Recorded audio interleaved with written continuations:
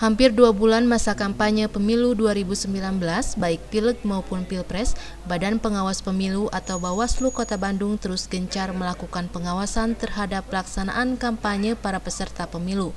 Bawaslu Kota Bandung mengumpulkan seluruh petugas Panwascam dari setiap kecamatan di Kota Bandung untuk lebih mengantisipasi terjadinya pelanggaran kampanye di daerahnya masing-masing.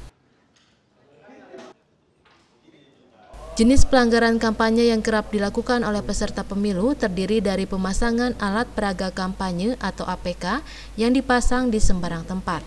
Selain itu, lokasi kampanye pun kerap dilanggar oleh para peserta pemilu seperti berkampanye di tempat ibadah, fasilitas pendidikan, serta fasilitas pemerintahan.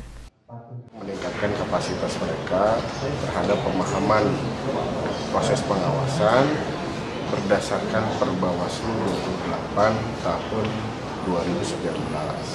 Jadi supaya nanti eh, pada saatnya pelaksanaan pengawasan berbagai tahapan itu bisa dilakukan maksimal sesuai dengan regulasi yang ada. Meskipun memang pada saat ini sudah masuk tahapan kampanye kan sebetulnya. Tetapi tentu fokus kita tidak hanya pada uh, pengawasan tahapan kampanye, tetapi berbagai tahapan termasuk dengan pemutakhiran data pemilih.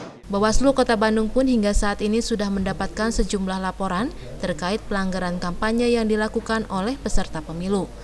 Pelanggaran didominasi oleh pelanggaran pemasangan APK, lokasi kampanye, serta keterlibatan aparatur sipir negara atau ASN dalam pelaksanaan kampanye.